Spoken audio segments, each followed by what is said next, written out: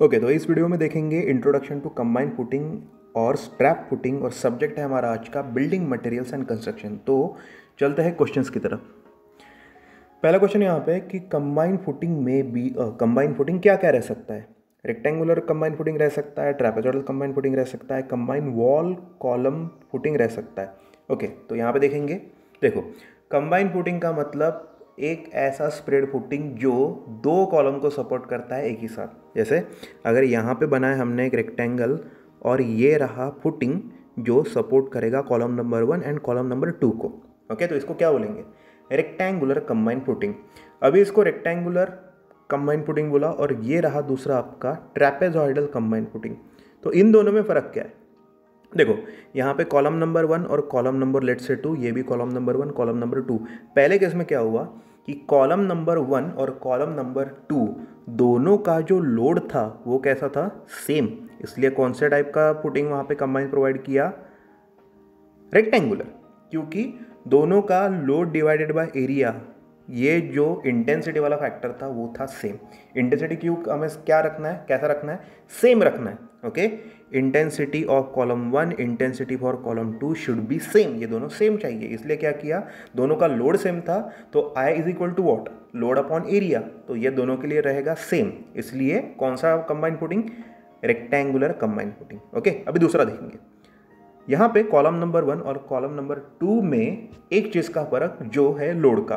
Column number one पे load है कम और कॉलम नंबर टू पे लोड है ज़्यादा। तो अभी हमें एक चीज़ क्या मेंटेन करके चलना है? कंबाइन कोडिंग प्रोवाइड करते टाइम कि इंटेंसिटी मेंटेन करना है same intensity is equal to what load by area तो इसका कम लोड करके इसको मिला एरिया कम। इसका ज़्यादा लोड करके इसको देना पड़ा एरिया ज़्यादा। क्योंकि ये जो आय वाली चीज़ थी इंटेंसिटी वो रखना था हमें सेम ओके तो ये होता है ट्रैपेजॉइडल कंबाइन फुटिंग अब तीसरी चीज़ combine column wall footing combine column wall footing ऐसा कुछ दिया जा सकता है।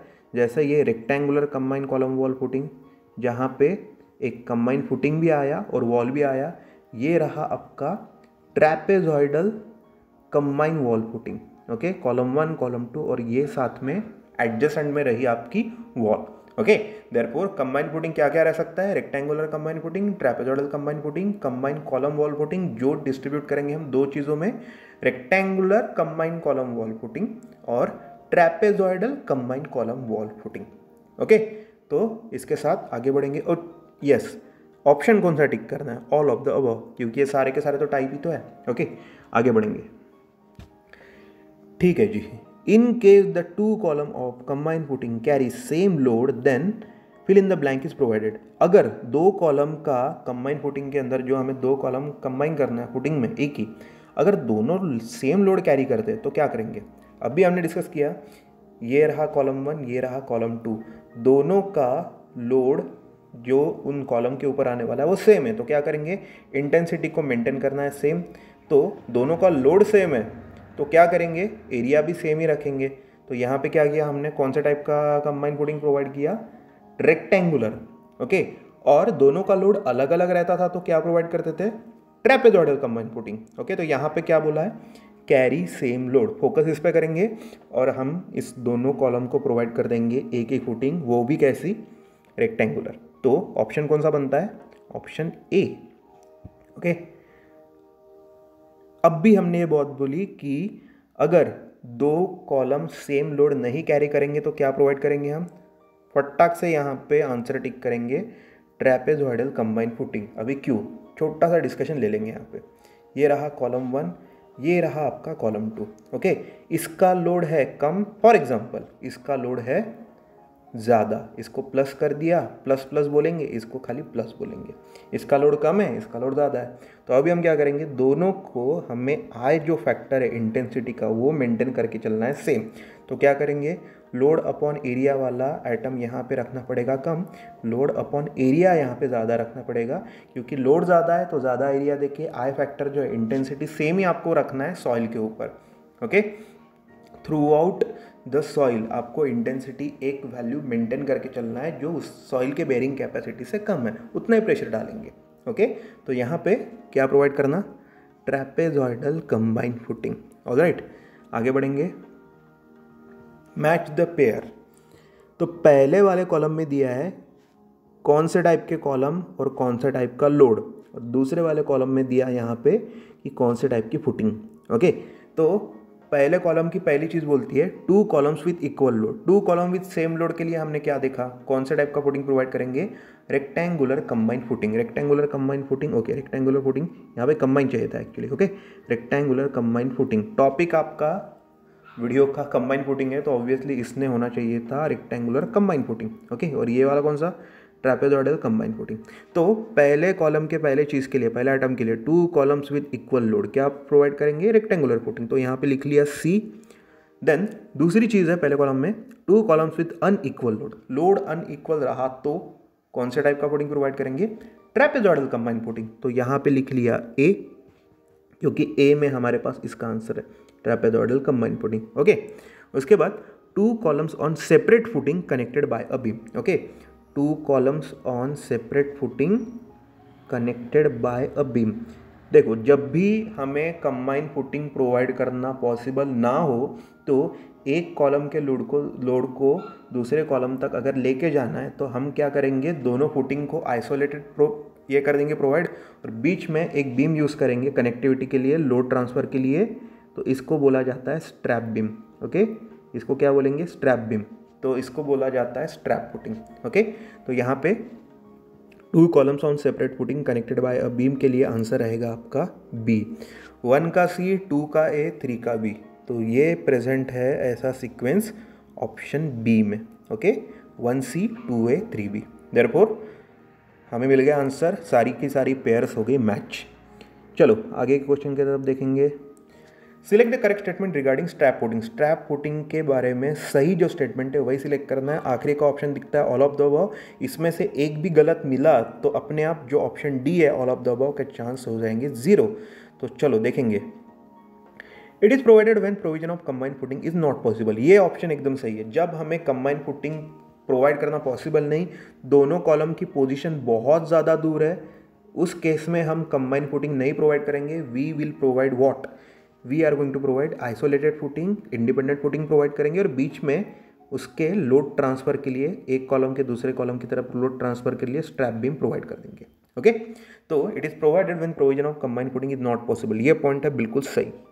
दूसरी चीज़ it can be used for any number of column नहीं स्ट्रैप फुटिंग जब भी प्रोवाइड करना है तो ये प्रोवाइड करेंगे खाली दो कॉलम के लिए okay not for any number of column only two column that's why option B जो यहाँ पे दिया गया वो है गलत। देर फोर डी वाला जो ऑप्शन है ऑल ऑफ़ द अबव इसको अभी से कट कर देंगे। और देखेंगे सी वाला पक्का पक्का गलत ही है क्या? Okay strap footing is also called as strip footing नहीं. स्ट्रैप फुटिंग और स्ट्रिप फुटिंग दोनों अलग अलग इंडिपेंडेंट टर्म्स है। स्ट्रैप फुटिंग एक इंडिपेंडेंट टाइप का फुटिंग है, जिसके अंदर दो कॉलम को सेपरेट फुटिंग प्रोवाइड करके कनेक्ट किया जाता है। स्ट्रैप बीम से और स्ट्रिप फुटिंग जो है, वो स्प्रेड फुटिंग का एक टाइप है okay that's why strap footing को स्ट्रिप फुटिंग या फिर स्ट्रिप फुटिंग को स्ट्रैप फुटिंग बोलना एकदम ही गलत। तो ऑप्शन सी हो गया स्ट्रॉन्ग तो यहाँ पे एक ही ऑप्शन सही it is provided when provision of combined footing is not possible okay चलेंगे आगे क्वेश्चन की तरफ़। Okay the strap beam in strap footing okay strap beam के बारे में कुछ यहाँ पे कहना चाहते हैं। Doesn't remain in contact with ground below act as a transfer medium और doesn't transfer load to the soil below तो सबसे पहले एक छोटा सा डायग्राम बना लेंगे स्ट्रैप फुटिंग का ओके तो ये रहा प्लान में हम देखते हैं इसको, ये रहा पहला कॉलम और उसका इंडिपेंडेंट फुटिंग ये दूसरा कॉलम ये उसका इंडिपेंडेंट फुटिंग और ये रहा अपना स्ट्रैप बीम इसको क्या बोलेंगे? स्ट्रैप फुटिंग सेम चीज़ को बनाएँगे क्रॉस सेक्शन में, यहाँ से ले लेते हैं क्रॉस सेक्शन ओके और इसको अगर क्रॉस सेक्शन में बनाया तो ये रहा आपका कॉलम ओके ये रहा इसका फुटिंग ये रहा फुटिंग कॉलम नंबर टू का, ये रहा कॉलम नंबर टू ओके और ये रहा आपका स्ट्रैप बीम एक चीज़ यहाँ पे नोटिस करना, हमने जब स्ट्रैप बीम बनाया तो इसको बॉटम पे नहीं बनाया, क्योंकि स्ट्रैप बीम ग्राउंड के कांटेक्ट में नहीं रहता ओके जिससे पहला ही पॉइंट हमारा क्लियर हो जाता है ऑप्शन में दिया हुआ doesn't remain in contact with the ground below yes ये बात एकदम सही है कि स्ट्रैप बीम जो है, इसको क्या बोलेंगे? स्ट्रैप बीम ये दो फुटिंग को एक ब्रिज जैसा जोड़ता है लोड के ट्रांसफ़र के लिए। एक कॉलम का अगर ज़्यादा लोड है तो वो ट्रांसफ़र उस बेंडिंग मोमेंट को, उस लोड को ट्रांसफ़र करके दूसरे कॉलम तक के लेके जाने के लिए एक ट्रांसफ़र मीडियम जैसा काम करेगा। वो खुद ग्राउंड के कांटेक्ट में भी नहीं रहता और ग्राउंड के ऊपर कोई भी लोड ट्रांसफ़र भी नहीं करता है।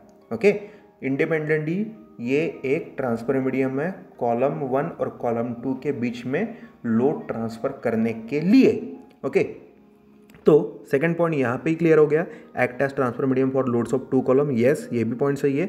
उसके बाद doesn't transfer load to soil below ये सॉइल के कांटेक्ट में है ही नहीं तो लोड ट्रांसफ़र कैसे करेगा? तो ये ऑप्शन भी हो गया सही। तो अगर तीनों ऑप्शन सही है तो ऑप्शन कौन सा टिक करेंगे? ऑप्शन डी ओके तो ये रहा आपका आंसर ऑप्शन डी तो इस वीडियो में हमने देखा कंबाइन फुटिंग और स्ट्रैप फुटिंग का इंट्रोडक्शन इनका जो डिटेल्स है वो हम अलग से एक वीडियो में 25-30 क्वेश्चन के साथ पूरा पूरा डिटेलिंग डिज़ाइन प्लानिंग पूरा पूरा लेंगे ओके फ़िलहाल के लिए ये था स्ट्रैप फुटिंग और कंबाइन फुटिंग का इंट्रोडक्टरी पार्ट होप आपको वीडियो अच्छा लगा। वीडियो अगर अच्छा लगा तो प्रेस करो लाइक बटन अपने दोस्तों में इसको शेयर करो, उसके बाद चैनल अच्छा लगा, इस वीडियो से आपने कुछ नई चीज़ सीखी तो उस चैनल को करना सब्सक्राइब। ऐसे ही वीडियो में डालते रहता हूँ, ओके?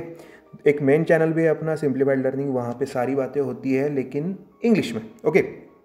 टेलीग्राम के चैनल को ज्वाइन कर लेना सिंप्लीफाइड लर्निंग सर्च करके देखना, वहाँ पे टेस्ट क्विज और नोट्स चलती रहती है। और हाँ इंस्टाग्राम पे अगर सिविल इंजीनियरिंग के सिविल इंजीनियरिंग के प्योर मीम्स देखना है तो इंस्टाग्राम पे फाइंड करो at the rate simplified learning civil okay? यहाँ पे हम मीम्स डालते रहते हैं witty memes quirky memes purely civil engineering means. Take care and bye bye.